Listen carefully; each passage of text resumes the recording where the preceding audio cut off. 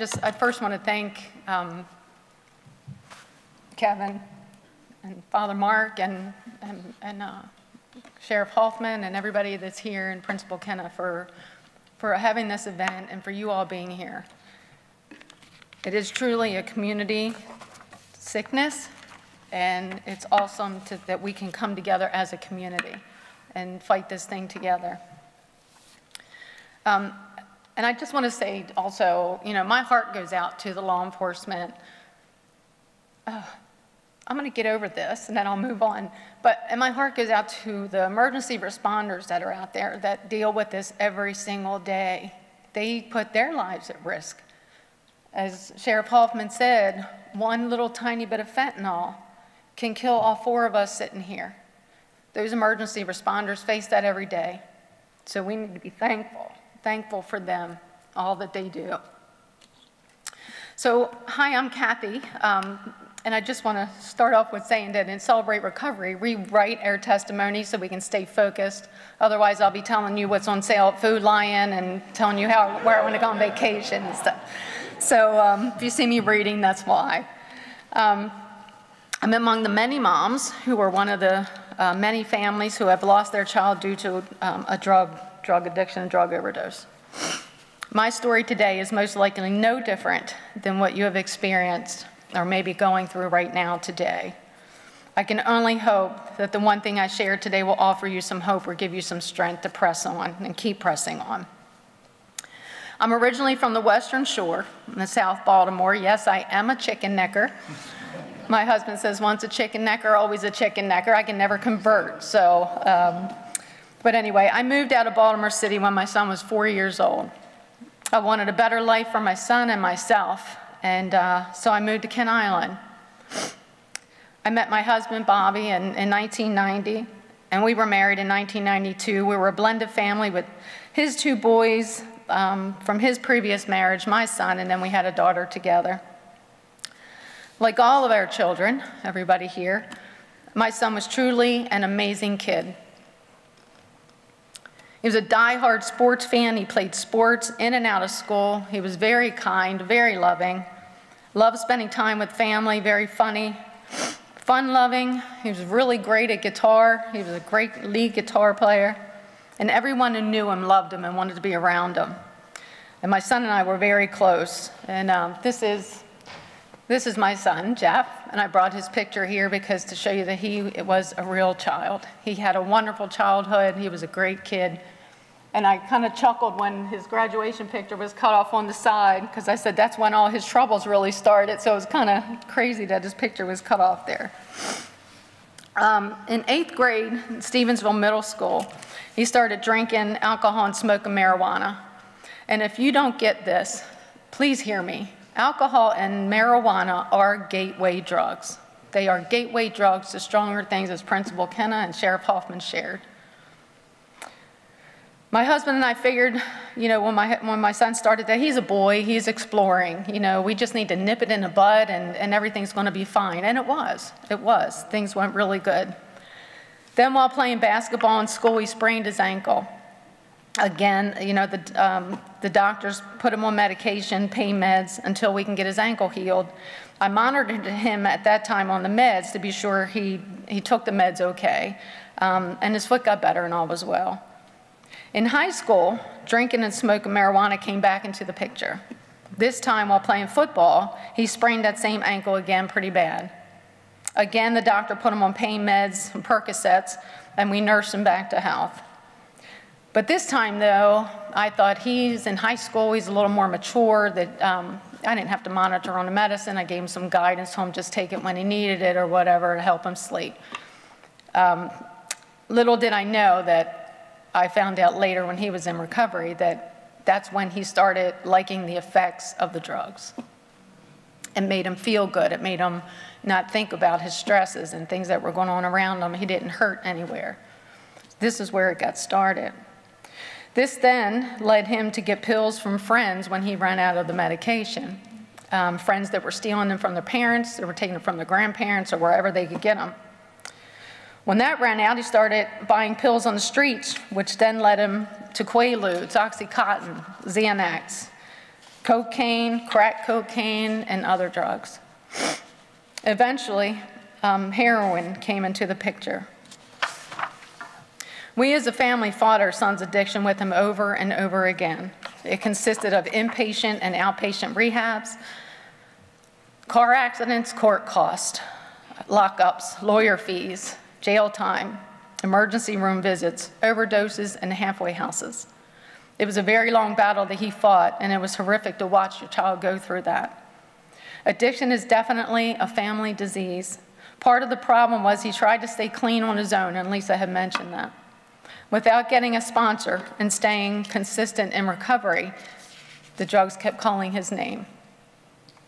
He always uh, considered our home as a safe home. That's what he called our home. It was the safe house because we kept watch over him and kept him accountable. But once he got out on his own, uh, the demons would call his name and he would again be chasing the dragon. When heroin was in the picture, he was sick, very sick. And I knew I had lost him and feared that I would never get him back before he would either die from an overdose or be murdered, murdered by a drug dealer. Oh, but I kept fighting. I kept fighting to control the situation and rescue my son from his self destruction. And I wasn't giving up. No, sir. Nobody could have stopped me. I was determined that the world was not going to steal and destroy my son's life. And I would not dare, dare accept the label of codependent. Because isn't that what a mother and a parent does? We protect and sacrifice our children. Well, sure we do, but to what extent? At what point with adult children do we let go and reclaim our lives? And how? That was the million dollar, million dollar question. How do we find acceptance of watching our children become someone we don't know anymore and let them just go? Knowing the end result may be a life, a complete life of self-destruction or death, whether that's spiritually, mentally, or physically. And I just want to say that I know each child is different, each family dynamic is different. But if you have a child that is a minor, you have control. You can get your child help. You can make them go to, to rehab. You can make them go to meetings. You can, you know, help your child along the way. But when they become an adult, then you have to make some really tough decisions. So once they become an adult and you have exhausted all your resources, that's when the decisions have to be made. I was broken, very broken as a mom, and was just as sick as my son was, but in a different way. I was in total denial and obsessed with his addiction and his disease. And my life was spiraling out of control. What started off with anger and frustration turned into guilt, and it was tearing me apart. What have I done so wrong for my child to want to take this path? I'm supposed to be his protector. What did I do? Or what did I not do that I should have done? I had the case of the what ifs and the if onlys. What if I would have did this or what if I wouldn't have done that? If only this and that. It was all my fault. I blame myself for his poor choices and his sickness. My codependency was making things worse, especially on my family, because addiction is a family disease. And the old saying is very true when mom is not happy, nobody's happy.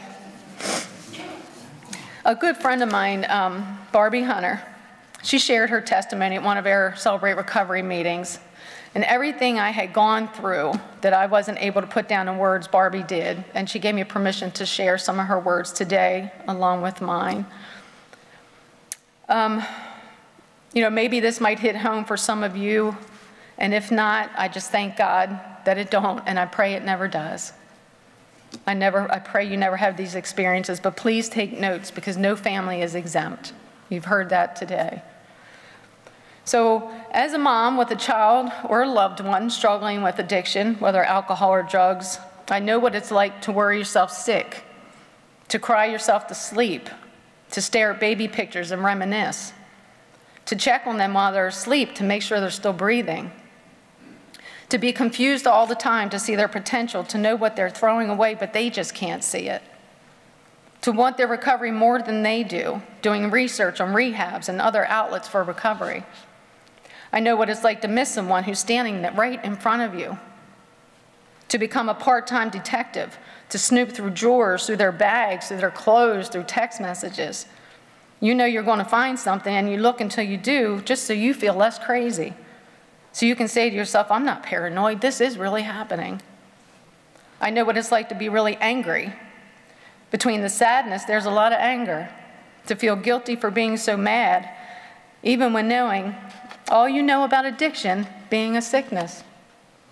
To convince yourself that anger is justified. This is not the life I dreamed of for me and my child. I know the difference between enabling and empowering, and there's a fine line between the two, and the difference can mean life or death. And what it's like to feel the weight of each day on your shoulders trying to balance the two. I know what it's like to feel shame and feel responsible for the actions of my struggling child. To have my self esteem blown away and constantly question myself about where did I go wrong. I know to watch out for pinhole pupils and subtle changes in behavior, to listen to them talk and make excuses and pile on lie after lie, and pretend to believe them because you're just too mentally exhausted for an argument when they know you're lying, they're lying right straight to your face.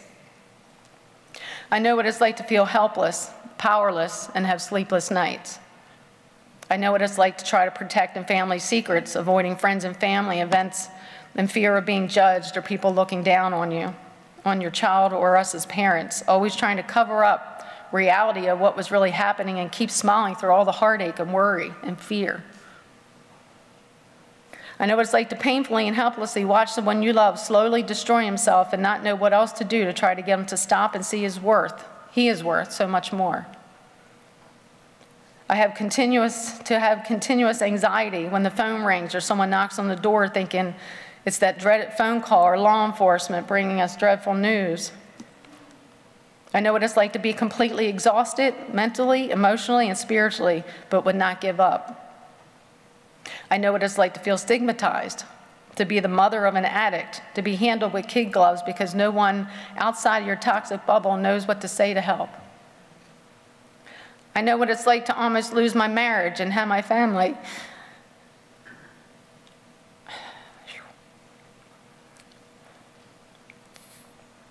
had my family fall apart because of my addiction, my obsession, obsession to my son's addiction, to lose sight of reality and lose myself in the process. To see your child and know he loves you so much and is hurting you, but he can't stop because the disease controls him. I have been through enough to know that things don't change for the worse overnight. They can change in a millisecond in a blink of an eye, as quick as it takes to take to, for two people to make a $10 exchange. To watch your child struggle after recovery when they're clean and deal with all the consequences of the aftermath. Struggle with so much shame and guilt and low self esteem, always fearing being judged because of their past. Being denied employment, denied joining the military, or buying a car or renting an apartment because of their past record and bad credit. Having a loved one with a drug addiction or alcohol addiction is seriously like being held hostage. You're controlled by fear, desperately trying to hold on to hope, but motivated by resentment and frustration. I was in bondage to fear and anxiety and was breaking down mentally and emotionally and put on anxiety medication to help with my nerves. Everything I tried to save my son from was now happening. I had exhausted all of my resources, and I had nothing left. At this point, both of our lives had become unmanageable, and I hit my rock bottom. During this time, my husband and I ran into a friend at Holly's restaurant, my good friend Tom Bowen.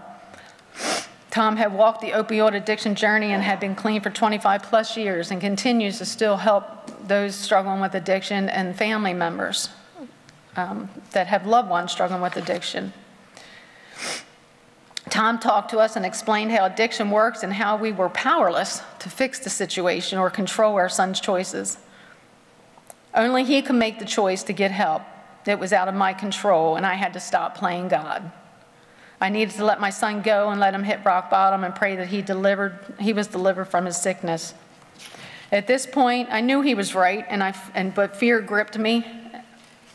Just even thinking about detaching and how it was, how it was all going to end.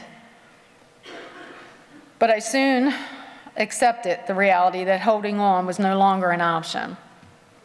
No matter how much I wanted my son's sobriety, he was the one that had to choose it for himself. I cannot fix someone that does not want to be fixed. It was time I started my own recovery and our family's recovery. There were a few things I had to learn uh, through all this. I had to learn that the very first step in taking your control back is to stop making emotional decisions and start making strategic, logical decisions.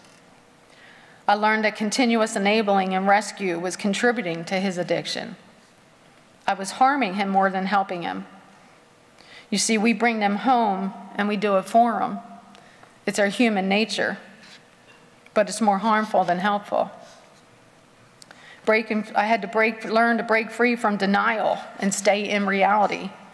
I had to learn about boundaries and use them against manipulation and taking blame, but also honor others' boundaries.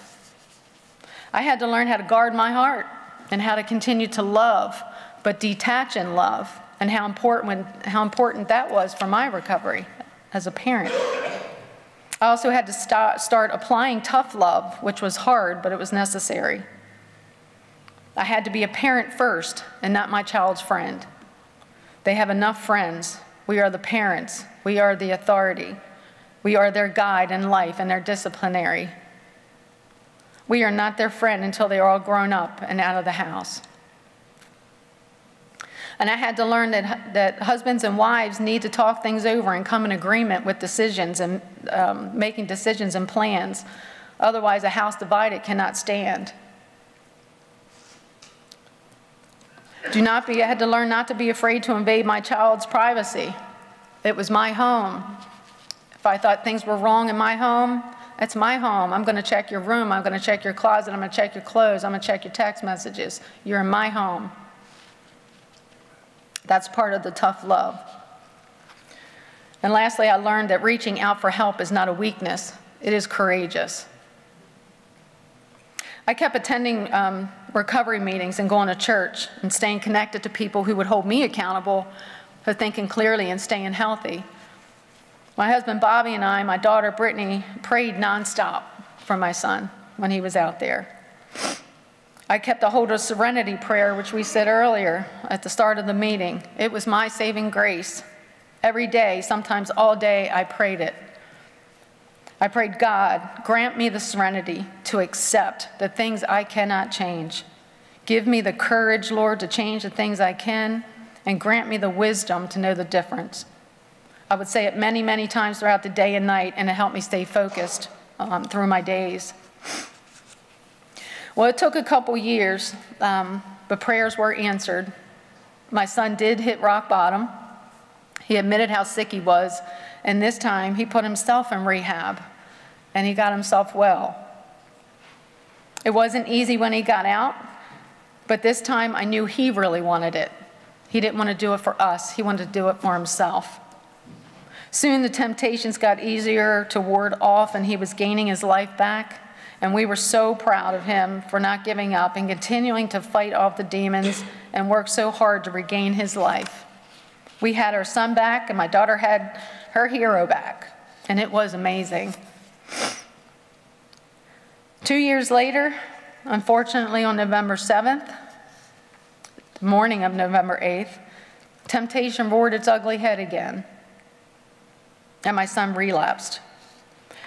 This time, the heroin fentanyl took his life. And his poor girlfriend, soon to be fiance, found him uh, lifeless around 2 a.m. in the morning. She had to call the ambulance and then call me and my husband. I don't think I need to tell you the rest of the story. It was a severe blow of trauma for all of us. Unfortunately, we entered into a club that we never wanted to be part of, but there we were. If it wasn't for the tools my husband and I had gained and learned over the past few years in Celebrate Recovery, work in the 12 steps for my recovery as a loved one with a, with a um, having a loved one with addiction.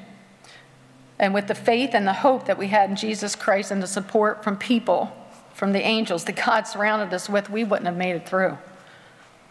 It wasn't until I stopped blaming that I started healing, blaming myself, blaming everyone else for my son's poor choices. It was like holding on to that traumatic experience and carrying it with you like a giant weighted backpack. Feelings or emotions that we can have, we just can't let them have us. Through my grief, I learned from attending Grief Share program, Celebrate Recovery in church that I too needed to take one step at a time and I needed to keep it simple. So I choose one word that I could work on through the entire year. And I actually still work on it six years later. That one word is acceptance. There were and still are many things that are out of my control that I need to just accept and move on with the things that I can control. I and we miss our son terrible. He was awesome. But I look forward to that glorious day when I'm reunited with him in heaven to see him healthier and happier than he could have ever been here on earth. Those demons can't catch him no more. I'm not going to pretend it's easy. We all have our, our not so good days that will probably never go away, but they get farther apart. I learned that it's okay to cry. It's important and healthy to give ourselves permission to cry and mourn, but we just can't stay there. While I'm here on earth, I need to continue to move on in life and take care of the other precious gifts God has given me my husband, my daughter, good friends, uh, opportunities for ministry to help others through my personal experiences. As you can probably guess from my story, I'm a Christian with deep faith. It's what got me through. My husband, Bobby, is one of the pastors at Kent Island United Methodist Church. And he had, he had officiated over 25 overdose funerals. That's not counting how many other pastors and, and, and fathers have, have um, funerals have done. I watched him console many broken and hurting families, and we both helped families any way we could. It wasn't easy for him or any of us as we struggled through our loss. But with the Lord's help and staying connected with our support team, our resources. We continue to help where and when we can. Our mess became our message. In closing, um, I thank you for allowing me to share. But I do want to say it doesn't matter what type of addiction you're struggling with, an addiction is an addiction, but there's help. Whether you're a parent, a grandparent, a sibling, or a friend, there are people right in this room today that are here to help you. They took their time out to be here to help you because we are a community of family. There's a Celebrate Recovery trailer out there with a mock team Beverum that we have our Celebrate Recovery team here that are willing to walk you through the Beverum and show you and give you ideas of what to look for and talk to you. There are people who have been through, just as Kevin, have been through recovery and they can share their stories with you. They will give you contact numbers to contact them if you need to, if you need to talk. Reach out to these people. Take advantage of this time. Spread the word with other people that you know are hurting, because there's a lot of hurting people out there that aren't in this room today. But I thank you for being here. Truly thank you. And I'm sorry if you're going through any of this that I'm sharing today. And I just want to say that, you know, I didn't share this story about my son to, to, to disgrace my son. His goal when he recovered and he was healthy for those two years, he helped other people. And I know he would want us to be here today and sharing his story to offer hope and a bit of strength to just one person. Thank you for allowing me to share.